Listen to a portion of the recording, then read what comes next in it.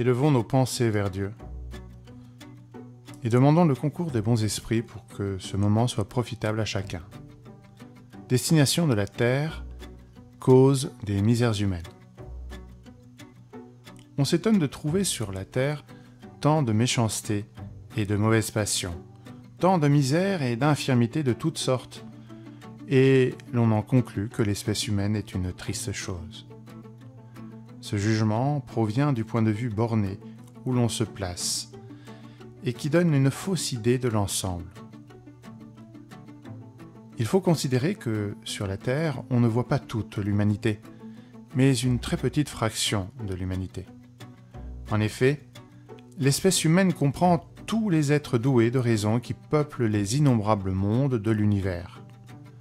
Or, qu'est-ce que la population de la Terre auprès de la population totale de ces mondes Bien moins que celle d'un hameau par rapport à celle d'un grand empire.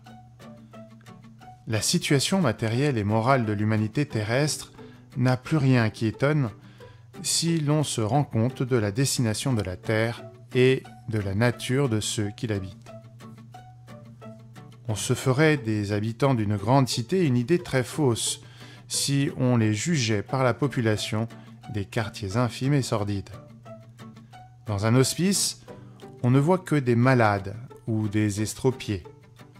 Dans un bagne, on voit toutes les turpitudes, tous les vices réunis. Dans les contrées insalubres, la plupart des habitants sont pâles, malingres et souffreteux. Eh bien, qu'on se figure la terre comme étant un faubourg, un hospice, un pénitencier, un pays malsain, car elle est à la fois tout cela, et l'on comprendra pourquoi les afflictions l'emportent sur les jouissances car on n'en voit pas à l'hospice les gens qui se portent bien, ni dans les maisons de correction ceux qui n'ont point fait de mal. Et ni les hospices, ni les maisons de correction ne sont des lieux de délices. Or, de même que dans une ville toute la population n'est pas dans les hospices ou dans les prisons, toute l'humanité n'est pas sur la terre comme on sort de l'hospice quand on est guéri, et de la prison quand on a fait son temps, l'homme quitte la terre pour des mondes plus heureux quand il est guéri de ses infirmités morales.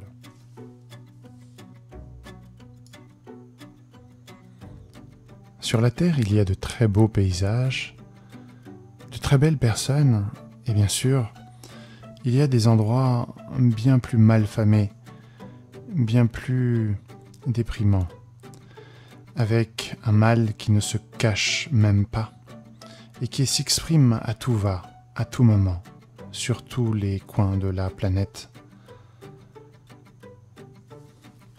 Notre planète peut abriter effectivement de beaux esprits qui cherchent à communiquer un autre chemin, une autre façon de vivre, un autre mode de vie. Mais on ne change pas comme ça les pensées ni les habitudes du jour au lendemain. Il nous faudra du temps.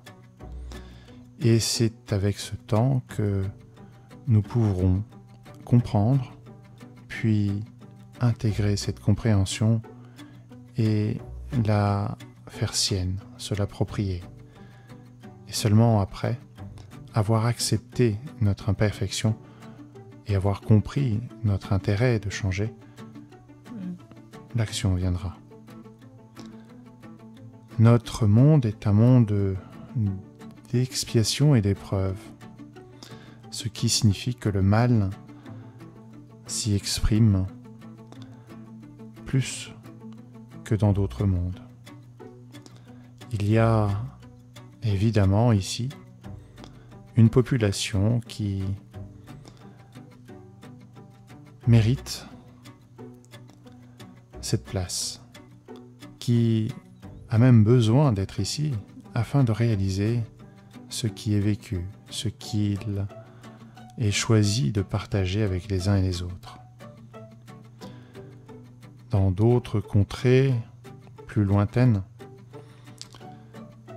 chez nos voisins, dans cet euh, univers, il y a d'autres conditions et bien sûr d'autres choix de vie, d'autres façons d'être en lien les uns avec les autres. Nous ne pouvons juger la planète à ce petit aperçu que nous pouvons avoir. Imaginons que nous sommes envoyés sur la planète Terre depuis une autre euh, planète lointaine et que nous atterrissions en pleine mer. Nous aurions un point de vue bien différent de celui qui atterrirait euh, dans le désert ou dans les steppes de la toundra ou encore dans des villes surpeuplées où personne ne fait attention à l'un ou à l'autre, ou encore si nous arrivions dans un tout petit village où chacun se connaît, où chacun s'entraide. Voyez que notre perception est limitée et restreinte à cet aperçu que nous pouvons avoir, à cette expérience faite de cette planète. Bien heureusement, l'humanité ne se résume pas aux habitants de la Terre. D'autres mondes existent, peuplés avec des êtres bien inférieurs aux nôtres, à la fois physiquement et moralement, et d'autres mondes bien plus évolués moralement et physiquement que le nôtre. Si le mal s'exprime encore trop aisément, cela donne une indication sur sa population et surtout sur le chemin qui nous reste encore à parcourir afin de vivre en paix, afin que chacun ici puisse être euh, à sa place, se sentir faire partie d'une grande famille. Une grande famille de cœur même. Il est intéressant de comprendre que nous allons progresser, que ce ne peut être autrement. Nous vivons actuellement une période de transition qui a commencé il y a quelques années, il y a peu, et qui nous fait entrer dans un monde régénérateur. La Terre deviendra un lieu où l'on y vient pour se régénérer, faire une pause dans cette lutte qu'est la vie. Pour cela, il y a à rénover sa population.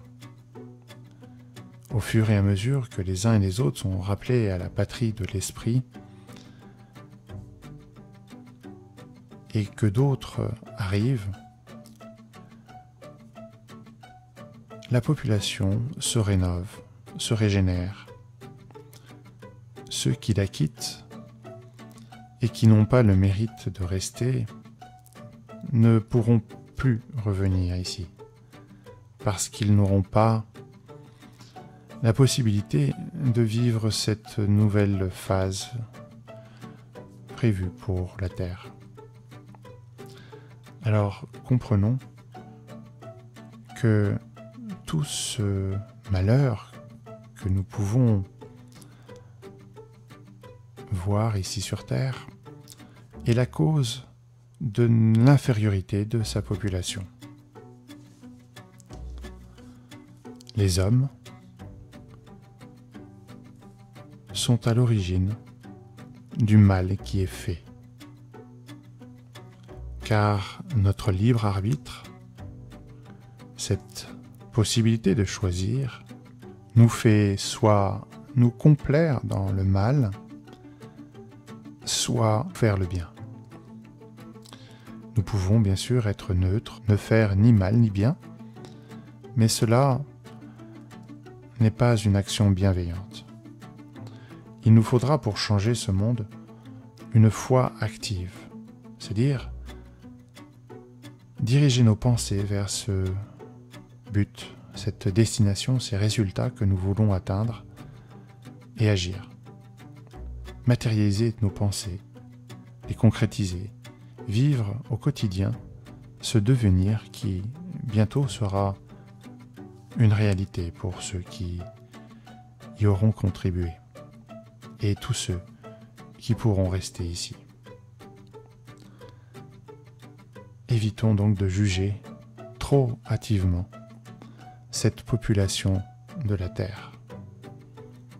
L'être humain est en effet une grande famille et nous ne la connaissons pas encore dans sa totalité.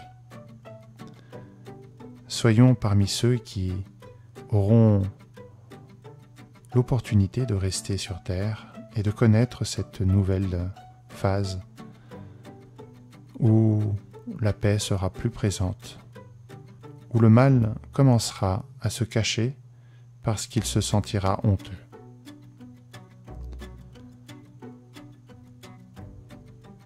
Réfléchissons, méditons, identifions en nous, dans notre quotidien, ce qui est bon, ce que nous partageons de bien, dans ce but de créer le monde paisible dans lequel nous aimerions tous vivre. Et agissons ainsi, malgré les aléas de la vie, malgré le choix des uns ou des autres, sachons où nous nous rendons et allons-y sans perdre de temps. Que la paix soit en chacun de nous. Ainsi soit-il.